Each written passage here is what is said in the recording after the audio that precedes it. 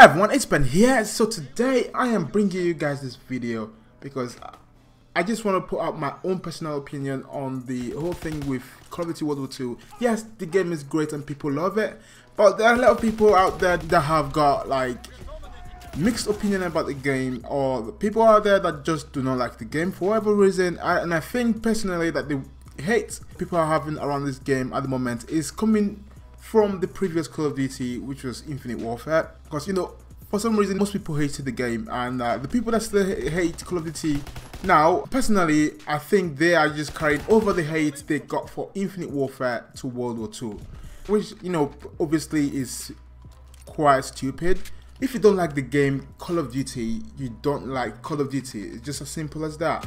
Uh, like obviously, like Call of Duty have tried to redeem their name by going to the old style of play, which is boot on the ground, and they've gone to the original style of you know gameplay, the original core gameplay that we all used to. Like when I got into Call of Duty was just around the first few Call of Duties from PlayStation 2, but since they've progressed, people I've kind of obviously hated the new ideas they've got to Call of Duty, and this just sucks a lot because uh, obviously people have hated the games they've you know made. For example, Infinite Warfare and Call of Duty Ghosts was one of the Call of Duties that got a lot of criticism. Criticism, can't get my words out right. Mainly because I think the game kind of was overhyped and they just did not deliver as much hype as you know we got during the pre-release of the game which sucked, you know. But anyways, I am uh, kind of just talking away from what is, uh, this video is all about, which is pretty much talking about Call of Duty World War II. Pretty much just giving you, uh, you know, views from both angles to make, you know, pick a decision if you want to purchase the game or not. So that is what this video is all about. If you love Call of Duty from, you know, the old Call of Duty, Call of Duty 2, Call of Duty 3, uh, you know, Call of Duty 1, you know, Call of Duty World at War, especially Call of Duty World at War, you will enjoy Call of Duty World War 2. That is something that, you know, people should know. Call of Duty World War 2 is like the game style and the whole idea about the game is to bring it to its old roots, which uh, personally I think they hit the nail in the head and they've done a very good job at that. Um, but the game does feel very different from the old Call of Duty that you're probably used to. You know, the Call of Duty that I've just previously mentioned. That is, if you did not like those old Call of Duty or you did not like any old Call of Duty and you, you think, you know, this new Call of Duty is going to, you know, draw you or make you like Call of Duty, it probably is, but I'm just saying it's the Call of Duty. You know what I mean? It's not gonna be like Battlefield, for example. The style of play is still pretty much the way Call of Duty has been produced for the past years, and you're just not gonna get anything, you know, different. Because that is what Call of Duty is like. I, I've seen video of people on about bullshit about Call of Duty, like, you know, realistic physics and all that bullcrap. Like, you know, bullet drops when you fire a weapon, which is pretty ridiculous because if you know anything about Call of Duty is that the map size, except for Call of Duty Ghost, which just tried to, you know, do something that Call of Duty isn't, the map size are mostly, you know, medium to close range. They are very small maps. You know what I'm talking about? So, you know, in those kind of circumstances, in reality, you will not experience any bullet drops or stuff like that in such a close range combat maps, which people are just, you know, bringing out all sorts of bull crap like that, uh, you know, Unreal Physics and all those. I mean, if you don't like Call of Duty, you don't like Call of Duty. Period. It's just how it is, guys. It, there's just no other way to put it, guys. There's just no other way. People are just hating on the game for you know reasons that just do not make sense. Personally, that's what I think you know you can you know bring up arguments about this game and hate on the game all you want but your opinions are pretty much going to be invalid because i personally think they've tackled all the problems or all the issues people have pointed out from the past call of duty and the views that to make this call of duty that everyone would love and appreciate. If you're still hating the game i think you just got a personal grudge for whatever reason so, with that being said guys, I am going to move over to the things people hate about this game, which for example is the hit detection. Yeah, we know that Call of Duty connection is always never going to be the best. Call of Duty's dedicated servers are just never going to beat, uh, you know, Battlefield. That, that's, that's, that's a fact, right? That is a clear fact that we've all obviously accepted. But I, I, think they need to be on top of their dedicated server and improve on their dedicated servers because it's just it's not the best. It's good enough for uh, a Call of Duty game, but but it's still not the best. I do get a lot of situations uh, with heat detection. For example, heat detection on Call of Duty World War II, especially the beta, had a lot of problems with that. I think is because I was always getting you know match with people from other countries that people that are not you know at all close to my vicinity which just made you know playing the game just kind of difficult sometimes.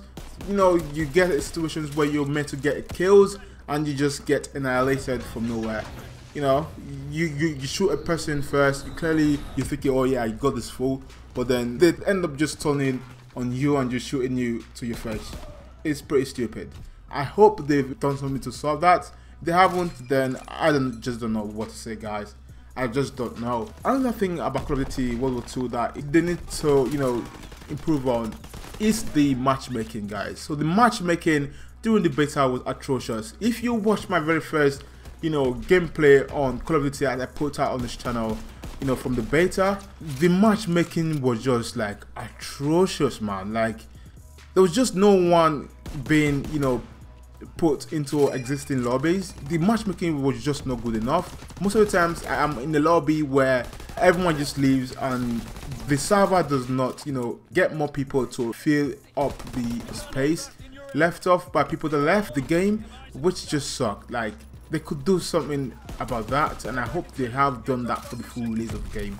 Because during the beta I had issues where I just got into lobbies where there were just not enough players. You just the game was just not enjoyable like that. Where there are not enough players. So another thing I would like to put out there is about the weapon class, which is pretty much comparing assault rifles to SMGs. Obviously, assault rifles are never the same as SMGs. SMGs are close range, mostly full auto, you know, uh, machine guns, where assault rifle on the other hand are long range you know rifles which you know you cannot you know compare both. They're completely two different things.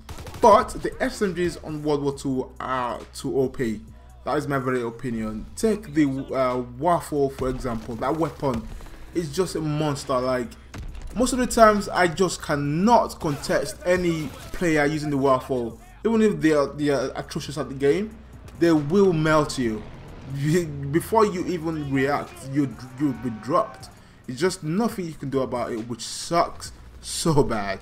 Like that is something they need to improve on. Like nerfing the SMGs on World War II, they need to do. Like the SMGs that I feel that is very very balanced is the Grease Gun. The Grease Gun is the most balanced SMG in this game. The other SMGs are just OP. They're just straight up OP and people that use the SMGs in the game always gets the upper hand in gunfights, which just sucks. Another thing I want to talk about is the incendiary round for shotgun. I know they've nerfed it, but oh my god, that thing is annoying. I have not played using any shotguns during the beta, but oh my god, these incendiary rounds are stupid. They are just stupidly annoying, guys. Especially when the beta first came out.